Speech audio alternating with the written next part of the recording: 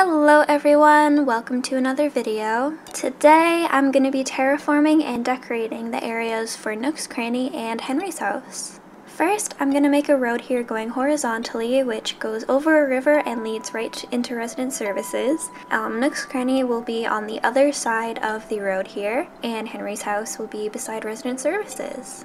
I'm going to be using the same road designs as in my last video, and you can find the creator code for that down in the Google Docs link in the description. So, it's been a while since I last uploaded a build video. I think it's been about a month, maybe more. I hope you're all doing well. April was a very busy month for me. On top of doing busy things, I went on a little vacation with my boyfriend. We went to Vancouver Island. It was my first time being on the island. It was really cool. If you want to see pictures from my trip, go check out my Instagram. Hopefully I will have them posted. It's been three weeks and I still haven't posted them yet. Classic Casey move. I did not know how badly I needed a vacation until I took one. For the past two years, you know why, I haven't like been able to go on a very long trip or like travel very far from home for more than a few hours. Um, so it was really nice to like go away for a week and like um, not have to worry about my responsibilities. Just to like take a break from everything. It was very much needed. It was, I, I feel refreshed and motivated to work on things again. I am a little bit behind on my videos, but that just means I have content prepared in advance still. I've got three more videos to edit and I am currently recording a fourth one. So hopefully I'll be able to put out one video per week for the next three or four weeks. Fingers crossed. I'm actually hoping to get this island finished within the next few months. I'm gonna be real with you, I miss doing city core. Don't get me wrong, I do like the theme that I'm working on right now, but I just find that I'm not having the same like constant creativity and inspiration that I had with city core. I don't know. I am gonna stick this out though. I'm gonna finish this island. I have to. but yeah, next island will definitely be city core. Okay, so I'm working on the road still. Um, you saw me make the road and add some little details and place the bridge. And also I made a little spot for Henry's house, that like little square dirt that I moved around and then got rid of. That's where Henry's house is gonna go. And I'm also gonna be extending the river that runs beside Henry's house. I'm also going to be getting rid of the river that's behind the road here because that's where Nooks is going to go.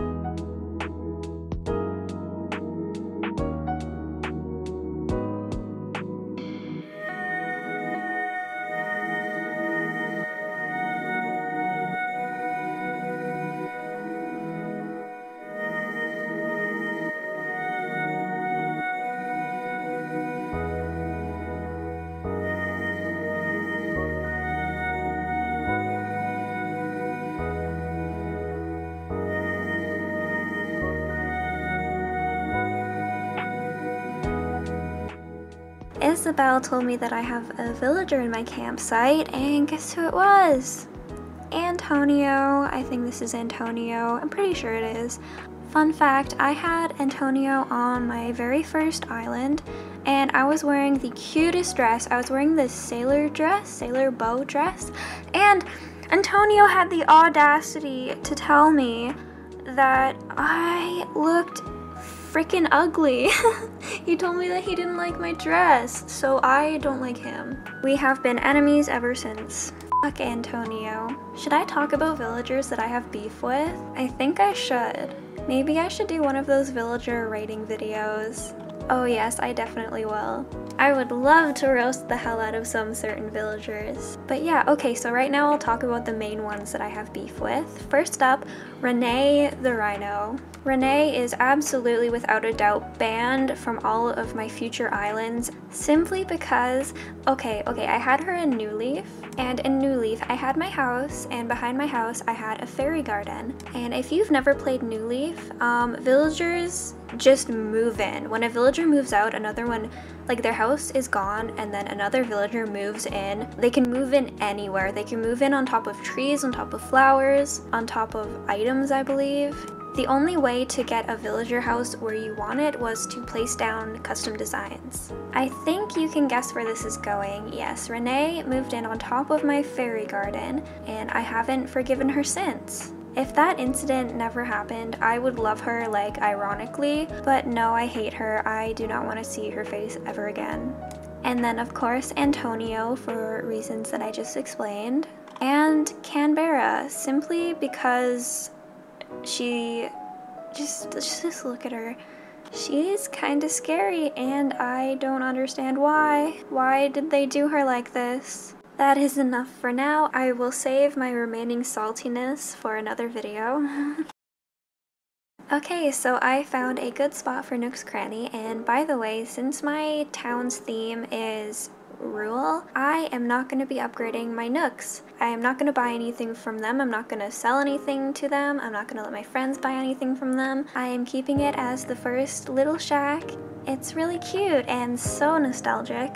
Also, if you didn't know, you don't need to upgrade your Nooks to progress in the game. I'm not sure if you need it for a 5 star rating, I personally don't care for this island. But yeah, there are no consequences. I mean, except for not being able to buy and sell stuff, but I have ways of getting bells.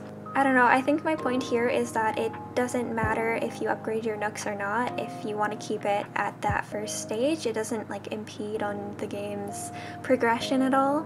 If you have an alternative way of getting bells, of course. If I need items, I can just buy them from the catalog, and I can also order stuff from Happy Home Paradise. Now that most of the terraforming is done, I can finally move on to the decorating.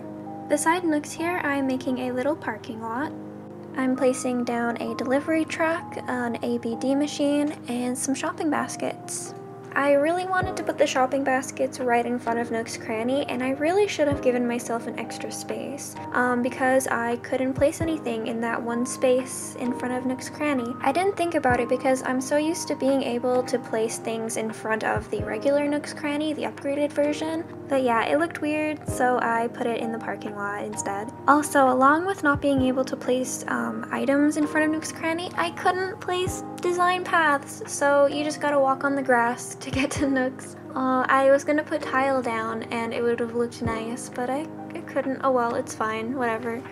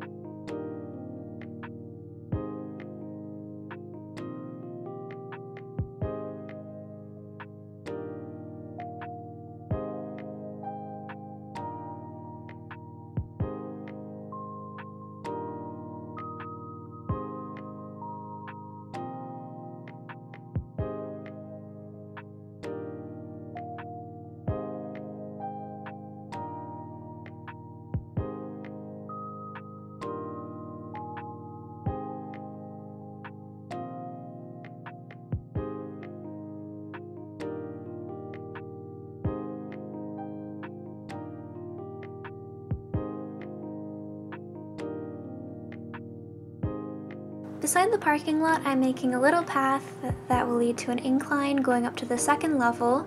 I'm not exactly sure what I want to put up here yet. There's not a lot of space, maybe some villager houses, but yeah,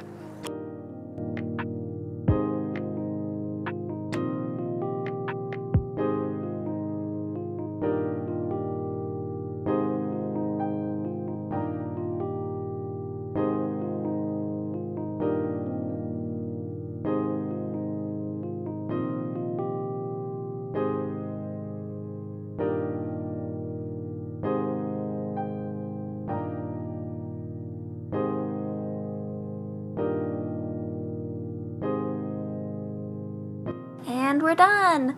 I time hopped to the next day so I can show you how it looks in the daytime.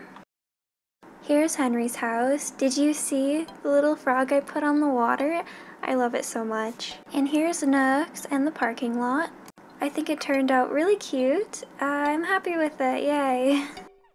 I hope you enjoyed this video. If you did, please leave a like and a comment and subscribe if you want to. I hope you all have a wonderful day and I will see you in the next video. Bye!